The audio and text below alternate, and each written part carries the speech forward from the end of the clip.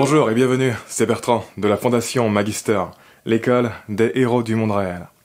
Pour le cinquième épisode de la série sur le thème de la reconnaissance, du succès externe, de la patience, de la confiance, de la vision, de la résolution, de l'abondance, de l'audace et de la loi d'attraction. Dans le dernier épisode, je vous expliquais que les défauts n'empêchent pas de réussir tant qu'on a des qualités. Je suis sûr et certain que, même avec la forme et les défauts actuels de mes vidéos, ma chaîne a le potentiel d'atteindre une très bonne audience. Et au fond, ça n'a rien à voir avec mon contenu. Encore une fois, on est des milliards sur Terre. On n'est pas 50. Donc, bien sûr que dans le lot, il y a plein de gens qui n'ont pas accès à Internet, qui ne parlent pas français, qui vont pas apprécier les qualités de mon contenu et qui vont trouver des gros défauts qui pour eux ne passent pas du tout. Mais d'un autre côté, bien sûr que dans le lot, il y a plein de gens qui vont apprécier les qualités et qui ne vont pas vraiment voir de gros défauts. Comme je vous l'expliquais dans l'épisode 150, on peut pas plaire à tout le monde, mais on peut difficilement ne pas plaire à certaines personnes non plus. Parfois, je vois des vidéos sur internet où ça parle de trucs qui sont pour moi vraiment perchés, et je me dis, oh la vache, il y a vraiment des gens qui aiment ce genre de contenu? Et oui, il y en a plein. Et il y a sûrement plein de gens qui vont se dire la même chose vis à -vis de mon contenu. C'est presque fou en fait de se rendre compte que l'on peut réussir avec n'importe quoi si on passe à l'action et que l'on se met en avant. Mon contenu, il aura toujours un côté assez philosophique, conceptuel, sobre et réfléchi. Il y a pas mal de personnes à qui ça ne plaira jamais, c'est sûr, ils y seront allergiques, mais ça plaira à d'autres qui au contraire résonneront beaucoup avec ces aspects-là et en voudront toujours plus. Parce que ces personnes ont comme moi besoin d'aller en profondeur et ne pas juste avoir des conseils, certes concrets, mais superficiels. Et ce sont ces dernières que je cible et que je veux attirer. Pour les autres, il y a déjà beaucoup d'autres chaînes de développement personnel qui font des contenus différents, et c'est très bien comme ça.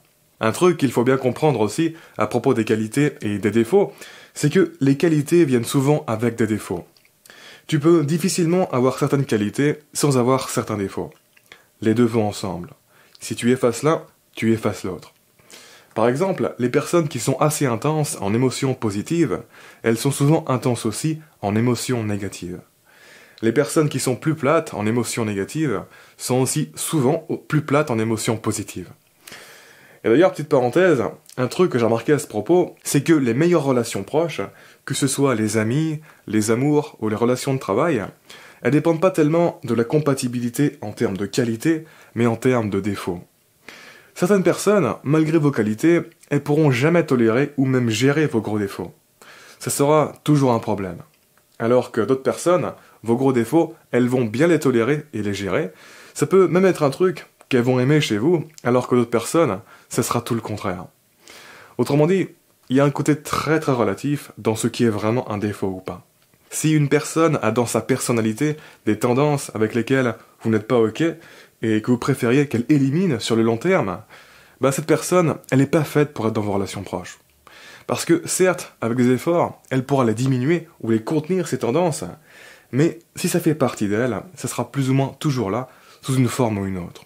Encore une fois, que ce soit les amis, les amours ou le travail, il ne faut jamais se mettre dans une relation proche avec une personne en espérant qu'elle change radicalement. Il faut se mettre avec une personne en étant ok que ça fasse partie d'elle, ou mieux encore, en appréciant que ça fasse partie d'elle. Il faut pas compter à ce que ça disparaisse. Et en disant ça, j'insinue pas que les gens peuvent pas changer. Non, je pense qu'avec les bonnes conditions, les gens peuvent beaucoup changer. Simplement, il faut pas compter là-dessus. Donc, encore une fois, étant donné la diversité et le nombre de personnes qu'il y a sur Terre, les défauts qu'on a, ils ne seront jamais suffisants pour nous empêcher de réussir de manière satisfaisante et supprimer le pouvoir de nos qualités. Au contraire, si on ne réussit pas de manière satisfaisante, c'est pour une autre raison. Il y a d'autres explications. Probablement un manque d'exposition de la valeur et des qualités que l'on a à offrir. Encore une fois, il y a tellement de gens qui ont des qualités, mais dont personne n'entend parler.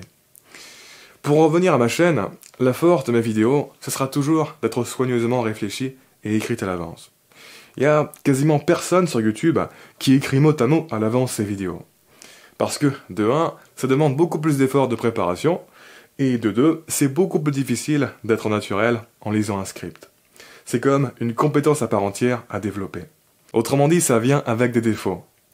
Pas mal de gens se sont essayés à utiliser un prompteur pour certaines de leurs vidéos, et le résultat était tellement dégueulasse et peu naturel qu'ils ont rapidement arrêté. Et par conséquent, la plupart des gens vont vous déconseiller d'utiliser un prompteur sur YouTube. Ils vont vous dire de parler comme si vous parliez à un ami et de ne jamais, au grand jamais, écrire mot à mot ce que vous allez dire. Et c'est vrai que c'est un très bon conseil. En fait, il faut être un peu con de miser sur la lecture sur YouTube quand tu sais l'importance que ça d'être naturel pour créer une connexion avec les gens qui te regardent et qui t'écoutent.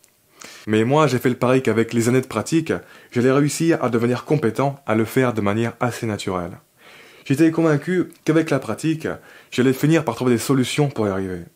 Même si j'avais beaucoup, beaucoup de difficultés quand j'ai commencé, et que j'en ai toujours d'ailleurs. Je me suis amélioré depuis que j'ai commencé, mais je suis toujours assez insatisfait. Je perçois encore beaucoup de défauts à gommer et d'éléments à engrainer dans mon cerveau pour que ça devienne naturel. Et je vais faire tout mon possible pour que ce soit le cas dans les années à venir. Sur le long terme, je veux vraiment devenir un maître là-dedans.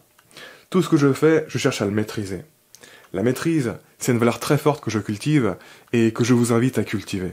Parce que c'est un très bon motivateur. Bref, j'ai fait le pari de prendre le contre-pied de la tendance générale qu'il y a sur YouTube. Non pas juste pour le challenge, mais parce que, d'un autre côté, l'écriture a deux avantages considérables. Le premier, c'est que l'écriture permet de formaliser sa pensée. L'écriture de qualité, c'est de la pensée de qualité.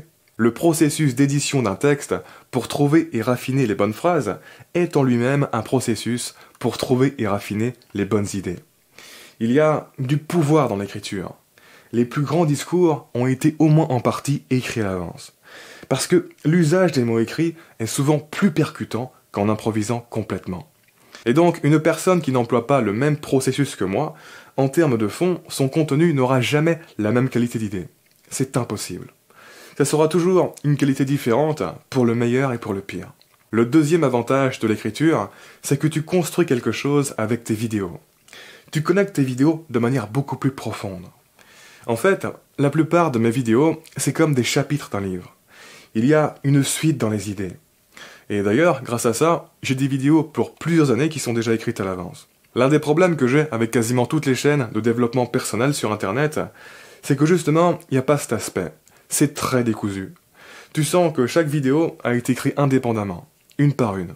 Et du coup, on reste toujours en surface. On parle de deux trois idées vite fait, et après c'est fini. On passe à autre chose dans la vidéo d'après. Il y a un côté très fast-food, c'est comme des petits snacks ce genre de vidéo. T'as pas cette sensation que ça a été soigneusement préparé, et même si c'est pas un problème en soi, ou d'un moment, ça manque quand même, parce que ça tourne très vite en rond.